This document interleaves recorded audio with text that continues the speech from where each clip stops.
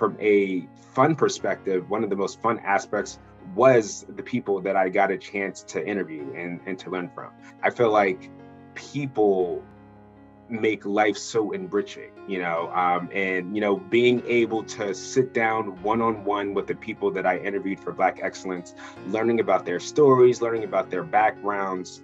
It was it was really just so fun. My author journey in particular started in summer of 2020. So one of my law school classmates, uh, Wusaki, shared that he was writing a book on LinkedIn. So I asked him asked him about it, um, and the whole process seemed um, very intriguing to me. So I just jumped in. And let me tell you, John, balancing everything is a story in and of itself. Throughout my journey, as you mentioned, my wife was pregnant. Our son is now three months old, by the way. Um, I was a full time law student. I was also getting an MBA. Um, my wife and I purchased our first investment property, um, and we were planning a move to uh, New York City.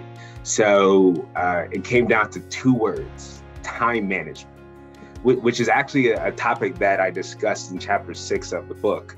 Um, but what I really had to do was I had to be very intentional with how I spent my time.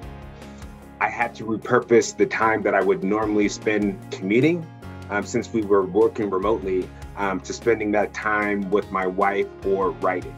Um, and one of the things, one of the little tricks that I used and developed was uh, to make sure that I didn't lose content from when inspiration hit me in the most random of moments. Um, I started a personal Slack channel uh, that acted like an impromptu writing journal, if you will. So uh, it was really about just like repurposing, you know, taking advantage of even the small moments and being consistent, you know, over a period of time. It was really uh, something that was interesting to kind of like go through, but that's why it's a, a journey and a process and the creative process, right? Because you start off with this initial concept, this initial idea, and it was somewhat it was somewhat scary because you know my background i shared you know cpa and you know went to law school. So there's a you know linear process and linear thinking you know um, and the logic to how i approach problems. Whereas this creative process you know i i didn't start with the with the answer to the problem.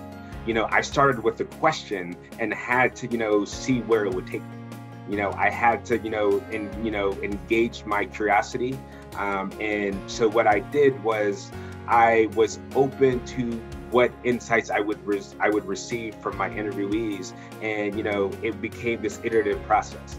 Where I started, you know, is very far from you know where I landed. You know, but I'm that's why I was so great that it was so great to have the Creator Institute in this community of, of authors that we could sort of. Uh, you know benefit from and share ideas. I just had so much fun you know meeting uh, uh, these people and a lot of them i can i now consider mentors and i look forward to continually developing the, the relationships throughout my career